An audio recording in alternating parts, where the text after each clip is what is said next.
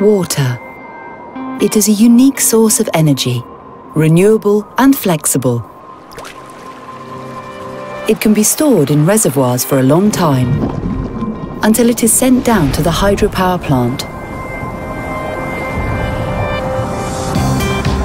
The thrust of the falling water spins the turbine. The turbine drives a shaft, which again spins the rotor of the generator and electricity is produced.